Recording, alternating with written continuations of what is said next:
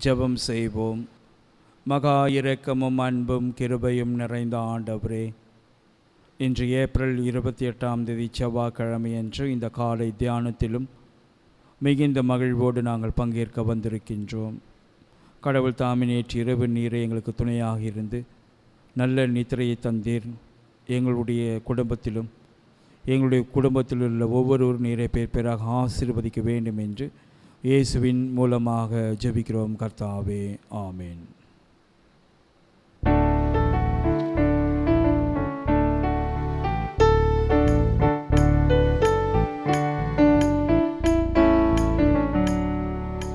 சீர்திரியேகவஸ்தே நமோ நமோ நின் திருவடிக்கு நமஸ்தே நமோ நமோ. சீர்திரியேகவஸ்தே நமோ நமோ. நின் திருவடிக்கு நமஸ்தே நமோ நமோ. பார்ப்படைத்தாலும் நாதா பரமசற்பீர சாதா. பார்ப்படைத்தாலும் நாதா பரமசற்பீர சாதா. நாருரும் தூய வேதா நமோ. நமோ नमो சீத்திரியேகவஸ்தே நமோ நின் திருவடிக்கு நமஸ்தே நமோ நமோ வேத பாடம் வாசிக்க கேட்போம். படிக்கும்படியாக தெரிந்து கொள்ளப்பட்டுள்ள திருமறை பகுதி யாத்ராகமம் இருபத்தி ஐந்தாம் அதிகாரம் ஒன்று முதல் ஒன்பது வசனங்கள் முடிய யாத்ராகமம் இருபத்தி ஐந்தாம் அதிகாரம் ஒன்று முதல் கர்த்தர் மோசையை நோக்கி இஸ்ரவேல் புத்திரர் எனக்கு காணிக்கையை கொண்டு வரும்படி அவர்களுக்கு சொல்லு. மனப்பூர்வமாய் உற்சாகத்துடன் கொடுப்பவன் எவனோ அவனிடத்தில் எனக்கு காணிக்கையை வாங்குவீர்களாக. நீங்கள் அவர்களிடத்தில் வாங்க வேண்டிய காணிக்கையாவன பொன்னும் வெள்ளியும் வெண்கலமும் இளநீலும் இளநீல நூலும் இரத்தாம்பர நூலும் சிவப்பு நூலும் மெல்லிய பஞ்சு நூலும் வெள்ளாட்டு மயிரும் சிவம்புத்திருந்த ஆட்டு கடாத்தோ தோலும் தகசு தோலும் சித்தி மரமும் விளக்கெண்ணையும் அபிஷேக தைலத்துக்கு பரிமள வர்க்கங்களும் வர்க்கங்களும் தூபத்துக்கு சுகந்த வர்க்கங்களும் ஏபோத்திலும் மார்ப மார்பதக்கத்திலும் பதிக்கும் கோமேதக கற்களும் ரத்தனங்களுமே அவர்கள் நடுவிலே நான் வாசம் பண்ண எனக்கு ஒரு பரிசுத்த ஸ்தலத்தை உண்டாக்குவார்களாக. நான் உனக்கு காண்பிக்கும் வாசஸ்தலத்தின் மாதிரியின்படியும் அதனுடைய எல்லா தட்டுமுட்டுகளின் மாதிரியின்படியும் அதை செய்வீர்களாக என்பதே. பாடம் முடிந்தது தேவனே உமக்கே மகிமை உண்டாவதாக. கிறிஸ்துவுக்குள் அன்பானவர்களே நாம் வாசி கேட்கப்பட்ட வேத பகுதியானது யாத்ராகமம் இருபத்தி ஐந்தாம் அதிகாரம்.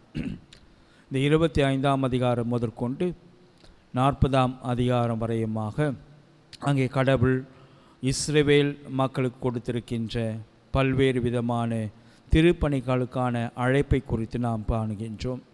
ஒருவேளை யாத்திராகம் நூல் இன்றோடு கூட நிறைவு பெறுகின்ற ஒன்று. ஏனென்றால் இதனை மேற்கொண்டு நாம் தியானிப்பதற்கு வேறு காரியங்களும் அல்ல. குறிப்பாக இந்த இருபத்தி ஐந்தாம் அதிகாரத்தில் சொல்லப்படுகின்ற மிக முக்கியமான காரியம் இரண்டாவது வசனத்திலே நாம் காணுகின்றோம். மக்கள் காணிக்கை கொண்டு வருமாறு அவர்களிடம் பேசு என்று கடவுள் மோசையிடம் குறிப்பிடுகின்றார்.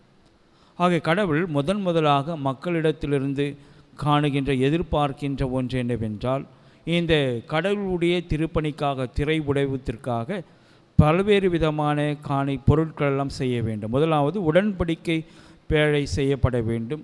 அந்த உடன்படிக்கை பேழை செய்வதற்காக அவர் தெரிந்து கொண்ட மரம் சித்தி மரம் மிக உயர்ந்த மரம் அந்த மரத்தை கொண்டு பேழை செய்ய வேண்டும். இரண்டாவதாக திரு உடைவதற்கான அப்ப மேசைகள் செய்ய வேண்டும். மூன்றாவது விளக்கு தண்டுகள் செய்யப்பட வேண்டும். ஆக இந்த மாதிரியான திருத்தலத்திற்கான பொருட்கள் செய்யப்பட வேண்டும். அந்த திருத்தலத்திற்கான பொருட்கள் அதை யார் கொண்டு வர முடியும் என்றால் மக்கள்தான் கொண்டு வரப்பட முடியும். ஆகவே தான் நாம் ஒவ்வொரு காணிக்கை எடுத்த பின்பும் ஆயிரவர்கள் எடுக்கின்ற ஜெபம் என்னவென்றால் ஆண்டவரே உம்முடைய கரத்திலே வாங்கி நாங்கள் உமக்கு கொடுக்கின்றோம் என்ற வாசகம் இடம்பெறுகிறதை நாம் காணுகின்றோம். ஆக அப்படிப்பட்ட அந்த அழைப்பை மோசே அங்கே இஸ்ரேவேல் மக்களுக்கு அவர் அனைத்தையும் எடுத்து சொல்லக்கூடியவராக இருக்கிறார். நீங்கள் அனைத்து காணிக்கைகளையும் நீங்கள் கொண்டு வாருங்கள். என்னென்னலாம் நீங்கள் கொண்டு வரலாம்? நீங்கள் பொன் வெள்ளி மற்றுமாக வெண்கலம் ஆகிய உங் அது மாத்திரமல்ல உங்களிடத்தில் இருக்கின்ற நூல் நாற்பட்டு இவை அனைத்தும் கொண்டு வாருங்கள் மரப்பலைகளெல்லாம் கொண்டு வாருங்கள் என்று சொல்லி ஒரு மிகப்பெரிய ஒரு அழைப்பை அங்கே மோசையின் மூலமாக கடவுள் கொடுக்கக்கூடியவராக இருக்கின்றார். ஒரு அன்பானவர்கள் இன்றைக்கு மனிதனுக்கு காணிக்கை கொடுப்பது என்பது மிகப்பெரிய ஒரு சவாலான ஒரு காரியம். ஏனென்றால் ஒரு நாற்பது வயது மதிக்கத்தக்க ஒரு மனிதன் ஒரு அறுபது அடி ஆழத்தில் உள்ள ஒரு கிணற்றில் எதிர்பாராத விதமாக விழுந்துட்டார். அந்த கிணற்றுக்கு மேலே ஏறி வர எந்த விதமான உபகாரணங்களும் இல்லை. கூப்பிட்டாலும் எந்த ஒரு மனிதனும் எட்டி பார்க்கவே இல்லை. அப்படிப்பட்ட ஒரு சூழ்நிலையில் கடவுள்கிட்ட அவர் வேண்டிக் கொண்டார். ஆண்டவரை நான் மேலே ஏறி வந்துட்டேன்னா என் வீட்டில் இருக்கின்ற ஒரு பசு மாட்டை நான் காணிக்காக நான் கொடுத்துறேன் சாமி. அப்படின்னு சொல்லிட்டு ஒரு நம்பிக்கையோடு அந்த அறுபது அடி ஆழத்திலிருந்து ஒரு இருபது அடி ஆழத்திற்கு மேலே ஏறி வந்துட்டார். வந்த உடனே மேலே ஏறி பார்க்குறாரு. இன்னும் ஒரு நாற்பது அடி தான் இருக்குது திரும்பவும் அவர் ஜெபம் பண்ணுறார் சாமி மீதம் இருக்கின்ற இந்த தூரத்தையும் நான் கடந்து வந்து விட்டேன்னா நான் ஒரு ஆட்டை நான் காணிக்கையாக கொடுக்குறேன் அப்படின்னு ஒரு முடிவு பண்ணிட்டார் பொருத்தனை பண்ணிட்டார். தொடர்ந்து ஒரு இருபது அடியும் கடந்து வந்துட்டார்.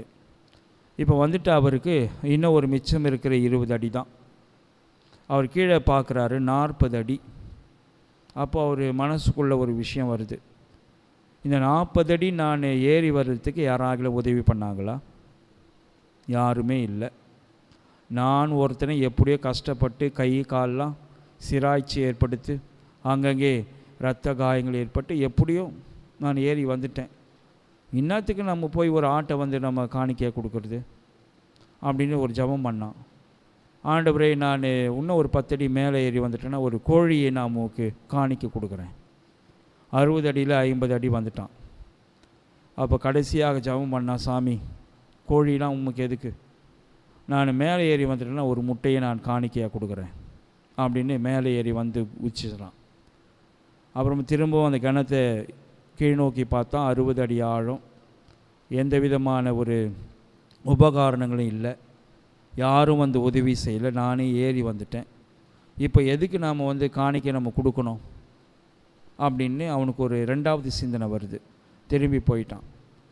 ஒருவேளை அன்பானவர்கள் இன்றைக்கு நீங்களும் நானும் அப்படி தான் கடவுளே நாங்கள் வேலை கிடைச்சா நான் முதல் மாத சம்பளம் கொடுக்குறேன். இதுவரைக்கும் அவனமான பொருத்தனை பண்ணி கொண்டவர்கள் முழுமையாக கொடுத்துருக்க முடியுமா? ஒருவேளை அஞ்சாயிரம் ரூபாய் இருந்தாலும் கொடுத்துடலாம். அஞ்சு லட்சம் ரூபாவாக இருந்தால் சொல்ல முடியுமா? அப்போ கூட ரொம்ப நாள் சொல்ல இல்லை இந்த ஊழியத்திற்காக கோயிலுக்காக நான் கேண்டுக்கினேன். அதனால் நான் ஒரு அஞ்சாயிரம் ரூபாய் இங்கே பத்தாயிரரூபா அந்த இடத்துக்கு இன்னும் ஒரு பதினஞ்சாயிரரூபா அந்த இடத்துக்கு இன்னும் ஒரு ஒரு ஊழியத்திற்காக நான் ஒரு இருபத்தஞ்சாயிரரூபா கொடுத்துக்குறேன் கொடுத்துக்கிறேன். எல்லாமே ஊழியம் தானே? ஆனால் அன்பானவர்களே இன்றைக்கு மனிதனுடைய மனநிலை மாறும். ஆகதான் கவிஞர் அவர்கள் ஒரு சிறப்பான ஒரு பாடலை எழுதினார்கள். மனம் இருக்கும் இடத்திலே பணம் இருப்பதில்லை. குணம் இருக்கும் இடத்திலே அங்கே பணம் இருப்பதில்லை. பணம் இருக்கும் இடத்திலே குணம் இருப்பதில்லை என்று மிக சிறப்பாக ஒரு பாடல் எழுதினார். ஒரு அன்பானவர்கள் அப்படிப்பட்ட ஒரு இக்கட்டை ஒரு போராட்டத்தை மனிதன் எப்பொழுதுமே சந்திக்கக்கூடியவன். ஆனால் இந்த இஸ்ரேல் மக்கள் செய்த காரியம் என்ன என்று பார்த்தோம் என்றால் அவர்கள் அனைத்து பொருட்களையும் கொண்டு வந்து வாரின்னு எடுத்துன்னு வந்து போட்டுனே இருக்கிறான் கொட்டுறான். எல்லாத்தையுமே கொட்டினே இருக்கலாம். ஒரு அன்பானவர்கள் அங்கே பணி செய்து கொண்டிருக்கின்ற மக்கள் எல்லோரும் சொல்கிறாங்க முப்பத்தி ஆறாமது யாத்திராக முப்பத்தி ஆறு ஆறாமது வசனம். இந்த கடவுளுடைய வேலைக்காக போதுமான அளவிற்கு பொருட்கள் வந்து சேர்ந்து விட்டது. இனிமேல் யாரும் கொடுக்க வேண்டாம் என்று கேட்டுக்கொள்ளுங்கள் அப்படின்னு அங்கே பணி செய்து கொண்டிருக்கின்ற தச்சர்கள் ஓடி வந்து சொல்கிறாங்க அங்கே பொற்கொள்ளர்கள் ஓடி வந்து சொல்கிறாங்க ஆச்சாரிகள் வந்து சொல்கிறாங்க நிறுத்திட்டுங்க வேலை. போதும் போதும். இனிமேல் யாரும் எடுத்துன்னு வர வேணாம். இங்கே வைக்கிறதுக்கே இடம் இல்லையே. ஒரு அன்பானவர்கள் இன்றைக்கு ஒவ்வொரு ஞாயிற்றுக்கிழமையும் இன்றைக்கு காணிக்கை நான் வாங்கும் போதெல்லாம் அதனுடைய எடை கூடி கொண்டு தான் போகுது. ஒரு நாள் ஒரு ஆறு கிலோ இருந்தால் அடுத்த நாள் எட்டு கிலோ பத்து கிலோ. என்ன தான் விஷயம் அப்படின்னு நான் பார்த்தேன். பார்த்தா எல்லாமே சில்லற. அஞ்சு ரூபா கா காயின்ஸு பத்து ரூபா காயின்ஸ் தான். ஏன்னா எடை கூற கூட நான் நினச்சேன் ரொம்ப வருதுன்னு நினச்சேன். இல்லை அதெல்லாம் உண்மை இல்லை. காணிக்கை தான். சில்லறைகள் தான். இங்கே மோசை இடத்துல மக்கள் ஓடோடி ஓடி அதை சொல்லலாம் இனிமேல் நிறுத்திடுங்க கொடுக்கறத நிறுத்த சொல்லு. மோசை உடனே மக்கள்கிட்ட சொல்கிறார் நிறுத்துங்க இனிமேல் யாரும் காணிக்கை கொண்டு வர வேண்டாம். ஒரு அன்பால் இன்றைக்கு எந்த ஒரு திருச்சபையும் தன்னுடைய மக்களை பார்த்து சபை உறுப்பினர்களை பார்த்து சொல்லலை. போதுங்க நீங்கள் கொடுத்தது போதுமானது நிறுத்திடுங்க அப்படின்னு நம்ம சொல்லவே இல்லை. ஏனென்றால் இன்றைக்கு தேவைகள் அதிகம் உண்டு. ஆனால் இங்கே இயேசுவானவர் ஒரு அற்புதமான ஒரு விஷயத்தை லூக்கா இருபத்தி ஓராம் அதிகாரம் ஒன்றிலிருந்து நான்கு வசனங்களில் நாம் காணுகின்றோம். அங்கே எருசலேம் தேவாலயத்தில் அவர் அமர்ந்திருக்கின்றார். அநேகர் காணிக்கைகளை போட்டு கொண்டிருக்கிறாங்க. செல்வந்தர் தங்களுடைய அளவுக்கு மிகுதியாகவே போடுறாங்க. ஒரு ஏழை விதவையானவள் தன்னுடைய இரண்டு காசுகளை கொண்டு வந்து போடுகின்றாள்.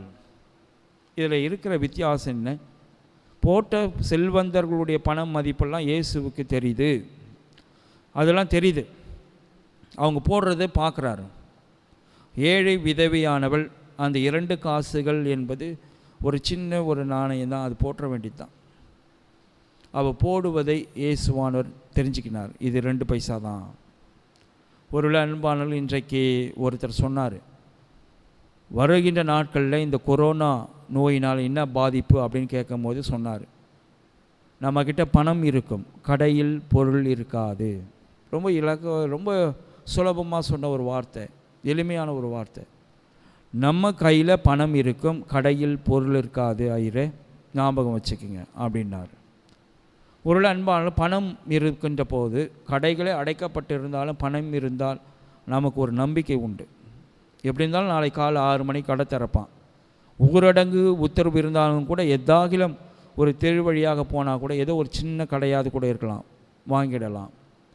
காசே இல்லாமல் இன்றைக்கு கடைகள் திறந்திருந்தால் நாம் என்ன பண்ண முடியும்? ஒன்றுமே பண்ண முடியாது. ஆக பணத்தினுடைய மதிப்பு என்பதை நாம் பார்க்கும்போது அது ஒரு நமக்கு நம்பிக்கை தருகிறது. பணம் நம்பிக்கை தருகிறது மகிழ்ச்சி தருகிறது. ஆனால் இந்த இயேசுவானவர் சொல்றார் அந்த பெண்மணி தனக்கு இருந்தது எல்லாவற்றையும் போட்டுவிட்டாள். இருந்த ரெண்டு பைசாவையும் போட்டுட்டான்.